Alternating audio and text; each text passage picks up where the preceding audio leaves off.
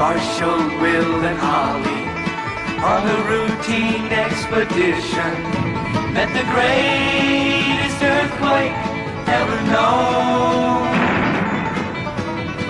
High on the rapids, it struck their tiny raft and plunged them down a thousand feet below to the land of the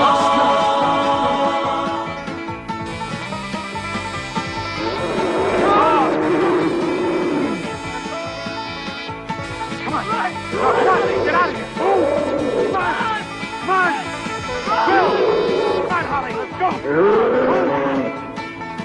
to the land